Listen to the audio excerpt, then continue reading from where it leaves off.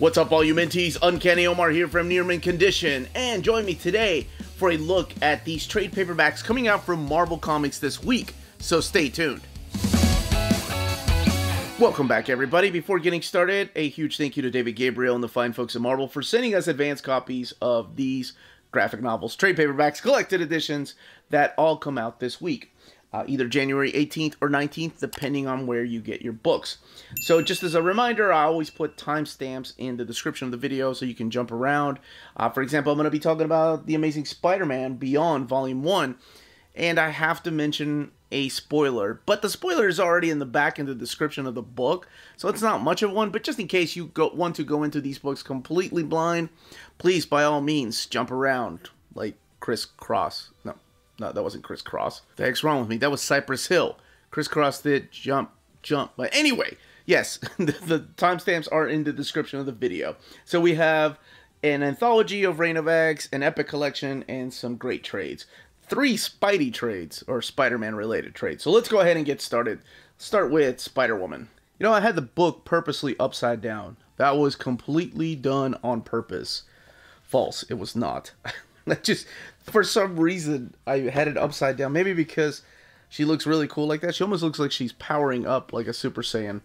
Yeah, that one's on me. This is the way the book uh, is supposed to be. So this is volume three of Karla Pacheco's run on Spider-Woman. Pere Perez joins her on artwork, and then Frank D'Armata is the colorist on the book. So you had Jessica deal with a bunch of family issues in the last two arcs. And now she's back with her boyfriend, she's back with her son. Things are going normal, and then she meets these two gentlemen right here Los Espadas Gamelas de Toledo. Or, as she likes to call it, Toledo, Ohio. So this book does see her back just fighting a couple of thieves here, but they do have a secret to do with the swords and they play a role for the first couple of issues that helps set up the next story arc. And the next story arc is about a bunch of mercenaries that are coming to steal something from Jessica Drew, including a very popular one that goes by the name of Lady Bullseye. She was a uh, creator by uh, Ed Brubaker during his run on Daredevil. And then, of course, a couple of other mercenaries like Bruiser here. But what I found interesting about this particular book is, well, it's the revelation as to who hired these mercenaries and why. And it seems like um, Jessica's dealing with a lot of family issues, and she's not quite done yet as of this particular uh, collection. So this collects issues 11 through 16 of Spider Woman. It has 136 pages. Here, let's skip a little bit because that last page is a little bit of a spoiler there. And the coolest thing about this that I found is that Jessica gets a new sidekick right here.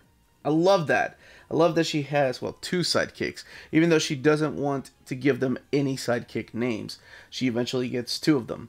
And this is a different type of Jessica Drew than, for example, um, you know, her original series, of course. She's a lot more mature, but she still has that quirky wittiness about her that made her like I hate to say it, but a female version of Spider-Man until she kind of grew into her own. She's definitely a different character than she was in the pages of Chris Claremont's Wolverine or in New Avengers. You know, she's a kid. She's got a, she's a kid. She's got a kid now, and she's got a sidekick. And the way the um, variant covers are collected, you have the main cover here, and then most of the time on the opposite page is one of the variant covers. So let's look at the extras. I, So the, for the extras, censoring that final page, of course, there's really not that many extras because most of these variants are collected on the opposite side of the standard cover. And I do have to say, I really missed that particular outfit. I loved it. I thought it was a great outfit, and I wish he had held on to it a little bit more. And speaking of different outfits, here we have Miles Morales, All Eyes on Me. Nice Tupac. Uh, but this is volume six of the ongoing Saladin Ahmed run, and it's also celebrating the 10th anniversary of Miles Morales. Has it really been 10 years since this character's been around? And it's really cool that Marvel does this. Like, they tell you where to start reading Miles Morales if you're wanting to get these books in trade paperback format. Here, let's look all the way in the back. and then continuing over here until you're finally at this book, which is like volume 14. So, is there enough material for a third omnibus? And I guess that's part of the reason why the Omnis are being rebranded this year. They're not only being reprinted, but they're coming out with a new title, or they're being rebranded with new titles. So, Saladin Ahmed returns with Christopher Allen and Carmen Carnero as the two main artists on the book. So this is after the events of the Clone Saga. So Miles Morales went through his own Clone Saga, and it explains really quickly what happened and how his costume got destroyed, how he still has a clone out there, and his clone is named Shift, and he's not quite all there. He's super powerful and has different types of powers than Miles does. Now, one interesting thing about this particular trade paperback is that the solicitations called for this to collect Spider-Man or Miles Morales Spider-Man 29 through 31 as well as material from annual number 1. But this collects issues 29 through 32 instead. It has 112 pages and retails for $15.99. So Miles is getting bullied. He sees Shift in the sewers. He's like, "Oh, there you are, Shift!" And he introduces his best friend Ganke to Shift. And of course, this is where he gets his new costume. See what I mean? I thought like the solicits, or I'm sorry, the like preliminary artwork showed that it was pink, but it's a red costume. Not sure how I feel about it. I really like that second costume when he came over to the 616 universe, his own costume that he's had for a long time. But this is kind of like a mix between I don't know the Scarlet Spider. It's it's it, I, I'm not digging the jacket. Is what I'm not digging really looks pretty cool in action shots and, and stuff, but just not the biggest fan of that outfit. Now, he ends up going on a date with Starling, and of course, Starling has relations to a Spider Man villain, but of course, that's all ruined by the character of Taskmaster, who ends up taking Starling with him. So, covers are collected like this, with the issue number up up top. And this leads into the Spider Man Beyond comic because this has a big cliffhanger. Um, that is a pretty interesting cliffhanger. It's a what you think is a group of men in black with sunglasses coming in and about to take out Miles Morales, not for dinner, but take him out. Um, well, there's a little bit of a twist as to why they're approaching him. You can find out exactly why because this ties into the Beyond event. Now, here we have a collection of stories from uh, the people that wrote the Spider Verse movie, as well as Sara Pichelli providing some of the artwork in here. Let's fast forward a little bit. There's another little story. Maybe this is the material from annual number one, but I still never states that it's annual number one material. And then, of course, we have some 10th anniversary covers here, variant covers. And then the design variants right there by Chase Conley. It's pretty cool. So that does look pink, as opposed to the way that it finally looks. That's what I thought. Okay. Let me see. Kind of dig that one. That one's cool. Wonder how many... Oh, okay. Now looking at it, I kind of dig that. Maybe it looks really good in black and white. Still not digging that jacket. I don't know. Maybe that's what the kids are into these days.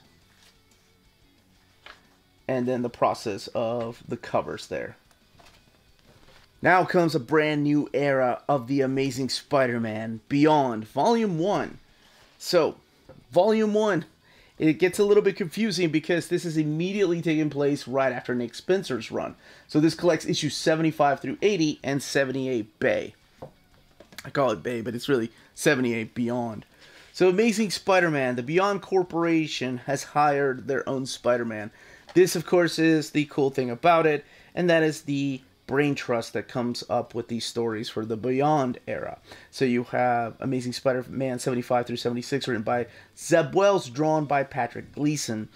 Uh, 77 through 78 is written by Kelly Thompson and Sara Pichelli drawing the artwork. However, there's also these little short story arcs in here. Like you have some more Zeb Wells stories in here about Janine. And, well, since we last saw her, she was still behind bars. Kafka, Love and Monsters. Uh, Cody Ziglar writing Amazing Spider Man 79 through 80. 78 Bay or Beyond is written by Jed MacKay, who's killing it in Black uh, Cat. And then the covers are mainly provided by Arthur Adams. So we kick it off with Amazing Spider Man 75. Again, taking place after the events of uh, Nick Spencer's run. And something horrible has happened in the life of Peter Parker.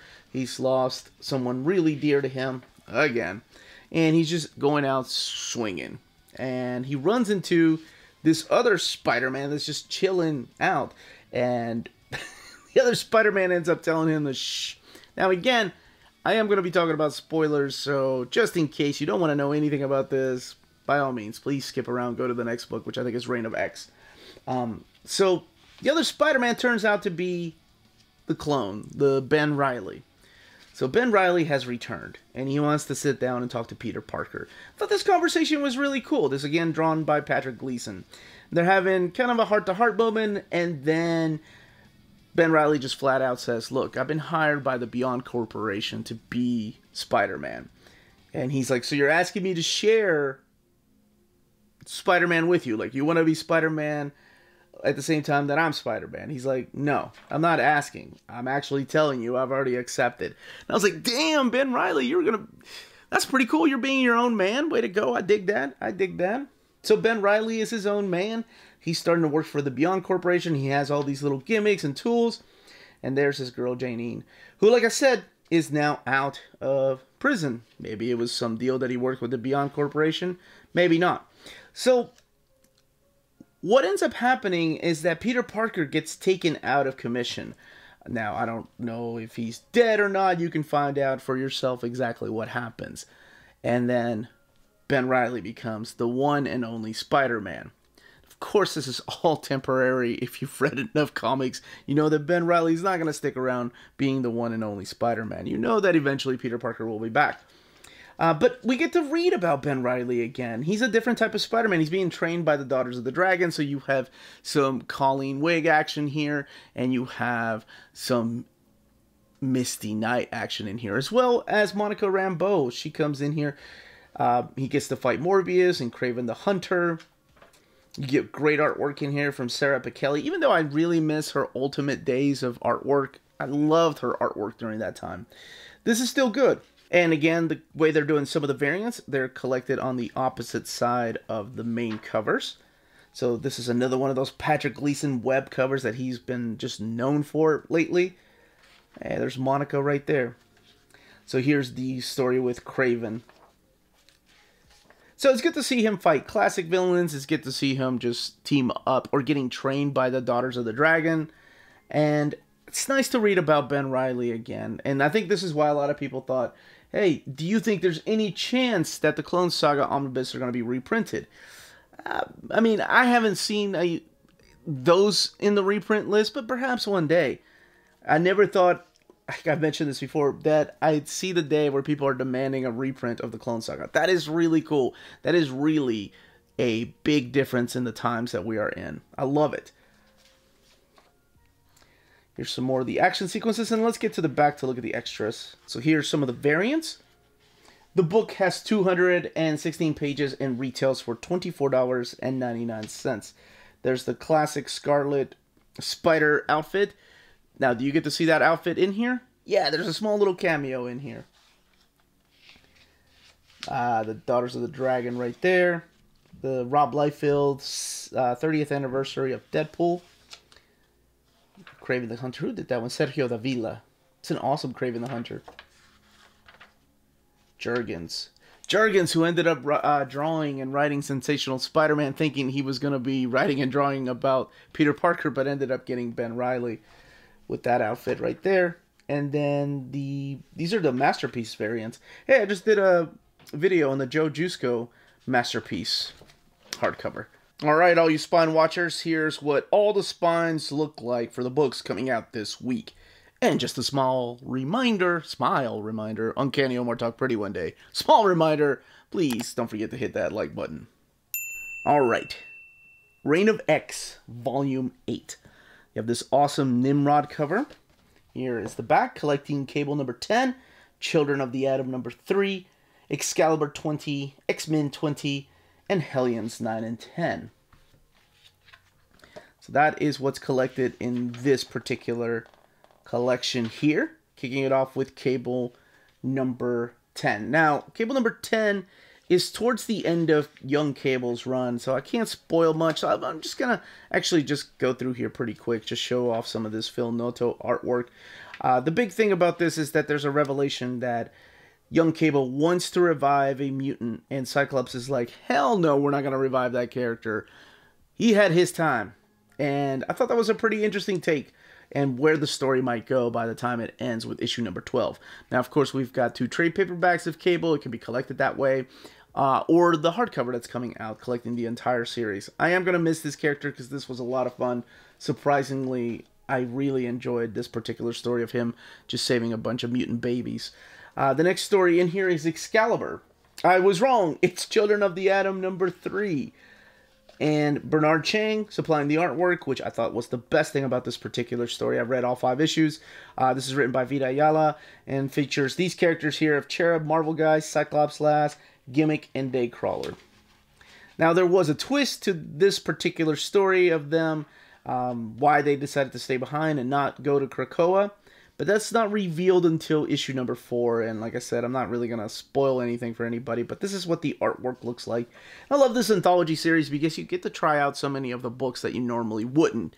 Like if you were getting just the trade paperbacks of each series, more than likely some people wouldn't get Children of the Atom. More than likely people would skip out on uh, Cable.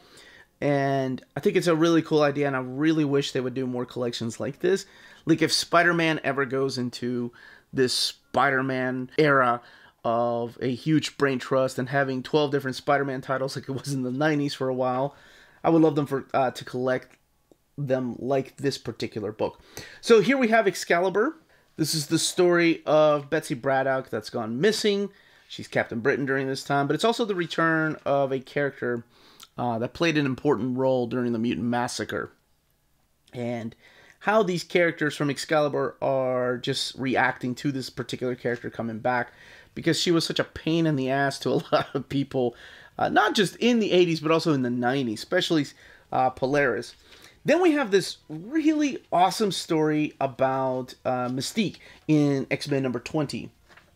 And Professor X and Magneto have asked her to go and pretty much stop the creation of Nimrod stop Doctor uh, Gregor from creating Nimrod because they know how it's they know how it's going to pan out. And she says, okay, but she has a stipulation. She says, I will do it if you do this for me. And they're like, yeah, sure. But it doesn't happen. So what are the ramifications of that? Thought that was pretty interesting, uh, the way that was handled, and probably leading into because I've read the first two issues of Inferno. I'm pretty sure it leads into a little bit of that. Then we have Hellions. Oh my gosh, I'm so gonna miss this title. This was my just breakout series of the Dawn of X era. I'm glad they got into the Reign of X, and sadly it wraps up uh, with issue number 18 being the final one. So we have the characters of Havoc, Orphan Maker, Grey Crow, um, Kwannon, and Empath Oh, Nanny. I love Nanny. I'm so going to miss Nanny. And of course, all being led by Sinister and uh, Wild Child. So they get put. Oh, I'm so glad to see Sage back too. Sage was one of the best parts about Extreme X Men. So they're thrown into a game, of course. Mr. Sinister gets betrayed by Mastermind, and they get thrown into a game of arcade. Arcade is one of these characters that is hit and miss with me. Sometimes I enjoy his stories that he's in, and then sometimes it's a little bit too much. I thought one of the freakiest uses of him was in the uh, Gambit and Wolverine miniseries. Uh, the, the story written by Jeph Loeb and drawn by Tim Sale. Just the way that Tim Sale portrayed him. Of course, there's Miss Locke, and there's Sinister, and then he's just having fun with the Hellions. So that's practically what this two issue story arc that's collected in the back is about. Now, as far as the extras, there's not that many. Censoring that final page of Hellions number 10. But here is a variant cover by Bernard Chang. And I love that variant cover by Mike Del Mundo. Uh, this book retails for $17.99 and it has 160 pages. Last but certainly not least, Hawkeye. Clint Barton finally gets his own epic collection. And I say finally, I really didn't mean finally because there's not a lot of characters that have their own epic collections, um, you know, that are outside of the main core group of the Avengers. I guess from the movies, we have Captain America, we have Hulk with his own epic run, Thor, Iron Man, but they had their own magazines before they formed the Avengers. But we did have Black Widow because of the movie, and I guess because of the TV show, we now have Hawkeye. So this was a series that I don't know. I wasn't at in, interested at all at first because I was like, I've read a lot of this stuff in the Avengers Omnis or in the Epic collections when I had those. So, you know, I've read his first appearance in the pages of Iron Man. So it does kick off with Tales of Suspense number 57. And this introduces the character of Hawkeye. So let's talk about that first. Let's talk about the uh, what this collects. So this does collect material from Tales of Suspense 57 and 60 and 64. Marvel Tales 100, these are all material from Marvel Fanfare 3 and 39, and Marvel Super Action number 1. And then it collects the Hawkeye miniseries from 1983, the very first Hawkeye miniseries, four issues. Avengers 16, 63 to 65, 189 and 223. Marvel Team Up 22 and 92 and 95. Captain America 317. So those are the full issues that it collects in here. So yes, he first starts off as a villain, and then eventually, because of something that happens to Black Widow, this by the way is all drawn by Don Heck. Um, in the pages of the Avengers, he decides to become one of the good guys, and of course that is Avengers number 16. That's the big, like, famous issue for Captain America forming his own lineup of Avengers. It's the first time that the Avengers, you know, they'd had a rotating cast, but it's the first time that most of them walked away and they left Captain America alone. Starts off with this fight with the Masters of Evil, who's got the Melter at the time, the Black Knight, the Executioner, and Enchantress. And then Hawkeye comes in going, Look, I want to be a good guy. And then they get a letter from Quicksilver and Scarlet Witch going, Hey, look, we are interested in joining the Avengers because uh, Magneto's kind of a jerk. So, I mean, I wish I was kidding. That's kind of what they do. They write a letter. So the Avengers decide to end up leaving, and here we go. Avengers Assemble. This is the new lineup. then we get the story here of uh, when he becomes Goliath for the first time, with beautiful artwork by Gene Colan. Man, that guy could draw some dynamic fighting um, panels. I, I, I wasn't appreciative of his artwork when I was younger. It wasn't until I was in my 30s that I learned to just appreciate his art so much, um, mainly because of Tomb of Dracula. But yes, this is the first time that they're going to go and rescue Black Widow. They want Clint to sit out of it, or Hawkeye to sit out of it. So, of course, the loophole is Clint's like, okay, sure, she's not going to be rescued by this Robin Hood type of character. She's going to be rescued by a talking giant. So he takes some of Hank's formula and becomes Goliath. And that's why you see him sometimes be in the Goliath costume, and sometimes he's Hawkeye. But this leads into another uh, uh, story that features him. Uh, it's, a, it's, about a family reunion. Uh, we get to see a little bit of his origin with the swordsman, and that's all kind of recapped in the first miniseries, I want to say, of Hawkeye. Then we get the Marvel team up. So we start seeing more and more little solo stories featuring Clint Barton we start seeing him just kind of grow bigger than his Avengers role. And there's part of the Marvel Tales, and here's the John Byrne era of Avengers, where he gets to fight Deathbird, I believe. Yeah, right here. Which I thought this was funny because at first he thought it was Falcon. So you get some awesome John Byrne artwork in here. There's Henry Gyrich. You have the team up with Spider Man again against Fear. And this is the one with El Aguila. Yeah. Where you kind of see him use a little bit of his uh, sword techniques. This is from Marvel Fanfare. And let's see, where is. Yeah, right here. So here we have an early appearance of Bobbi. And this, of course, will she's going to become Mockingbird. So this is um, all from Marvel Super Action number one. Now she had appeared before in the pages of Ka-Zar, and she was kind of a love interest. But in this, she appears as a almost like a secret agent known as the Huntress.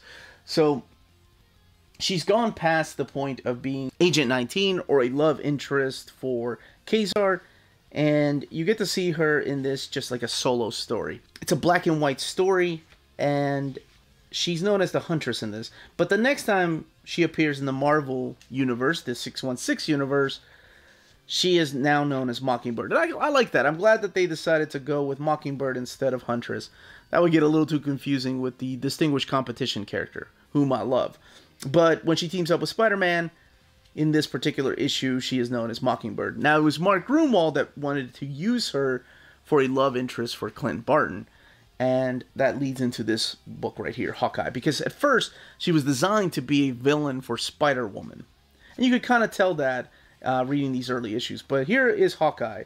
Here is where he's finally fallen in love with this girl named Sheila. He's like, man, I've got my life balanced.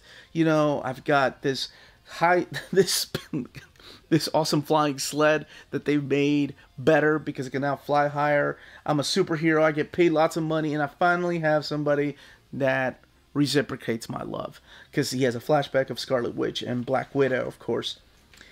However, he gets his heart broken in this poor Clint. He can never win. He starts crying about something that Sheila does, and it just it can't be fixed because she betrays him in one of the worst ways you can betray somebody. Of course, now we have Mockingbird here. She's introduced to Clint through these pages, and together they go on an adventure. Uh, they fight uh, crime together, including these two characters right here, Bombshell and Oddball, that are hired by what was his name, Cross-eyed. Not Cross-eyed. That's a ridiculous name. This guy right here, Crossfire.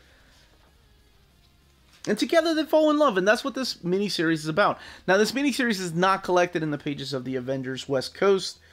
Um, then we have this team up here with Hawkeye training Captain America on how to use a bow and arrow. Another Mark Gruenwald story. And then the story from Marvel Tales right here by J.M. DeMatteis and Joe Staton. It's got some great artwork. Now, as far as the extras, so we have Marvel Triple Action number 10, which reprinted Avengers number 16, but they have a brand new cover by Gil Kane. You have an article here from 1983 from Marvel Age number 6 talking about the limited series of Hawkeye. That's uh, written by Mark Gruenwald. An ad for the Hawkeye miniseries. This old ass trade paperback I used to have. When did this come out? It had to have been the yeah 1988. I remember this trade paperback because that was the way that I've read it uh, the Hawkeye introduction by Mark Gruenwald, Archie Goodwin um, introducing the Marvel Super Action number one, Marvel Team Up letters page afterward by Mark Gruenwald, talking about the character of Mockingbird and how he wanted to utilize her. Official handbook guide of the Marvel, or the handbook of the Marvel Universe profiles there. The book retails for $39.99. There's the Mockingbird picture right there. And it has 432 pages. So it's Barbara Bobbi Morse. You know, I don't think I've ever heard, or I've never called her Barbara. I've only called her Bobbi. And here's all these other villains that played a part in Hawkeye. The covers to the Marvel premiere. And then, of course, the Epic Collection. And that, as they say, is that. If you're interested in any of these books, don't forget to check out our sponsor, cheapgraphicnovels.com, your online home for brand new graphic novels and collected editions up to 50% off cover price. They pride themselves on packaging your books so they arrive safely in excellent condition, as well as prompt and helpful service. Check out the bargain deals for up to 90% off cover price. CGN is excited to announce that they are now taking pre-orders. They're making it easier for you to ensure that you don't miss out on the hottest releases. CGN is currently running a special promotion for you minties. If you're a first-time customer, let them know that you were referred by near mint condition at the checkout checkout, and you'll receive a credit for free shipping on your next order. This promotion is valid for U.S. customers only. Cheap Graphic Novels, your source for the hottest books with the kind of deep discount and quality shipping and customer service that will keep you coming back for more. And that was the content and page count of each of these trades. Let me know in the comments down below which trades you're picking up this week. If you're a fan of the Epic line, if you're excited about Hawkeye because he's your favorite Avenger and he's finally getting his own Epic, or if you're just going to stick to the Avengers Epic. Uh, if you're reading Spider-Man in this particular manner, if you're reading it in trade paperback format, what you thought about the Beyond series, or or if you're reading it monthly, are you excited for the new ongoing series? And please tell me I'm not the only one enjoying Spider-Woman. That book is phenomenal.